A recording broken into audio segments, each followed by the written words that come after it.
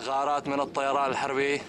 La Syrie se prépare à voter lors des élections législatives qui doivent se tenir ce mercredi dans les zones contrôlées par le régime, malgré les violences qui menacent de briser le cessez-le-feu mis en place fin février. Le front al-Nosra, rattaché à Al-Qaïda et allié à des rebelles, mène des offensives à Hama, Latakia et Alep, où les combats s'intensifient. Le scrutin aura tout de même lieu dans la deuxième ville du pays, mais aussi à Derezor, contrôlé en majorité par le groupe État islamique. L'Organisation des Nations Unies tente toujours de trouver une issue politique au conflit.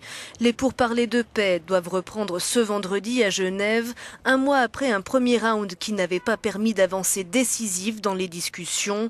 L'opposition veut une transition qui exclurait Bachar el-Assad, mais sur ce point, les négociations achoppent toujours. Qui doit décider, eux ou nous? Comment quelqu'un peut, depuis son hôtel 5 étoiles, venir et prendre le pouvoir? S'ils n'ont pas réussi à le faire par la force, ils pensent qu'ils peuvent y arriver maintenant? L'opposition qualifie déjà ce scrutin de mascarade dans un pays où la moitié de la population a dû fuir le conflit. Pour les provinces qui rencontrent des problèmes de sécurité comme les banlieues d'Alep et de Derezor, nous allons ouvrir des bureaux de vote dans de nombreuses zones pour ne priver aucun citoyen de son droit de vote.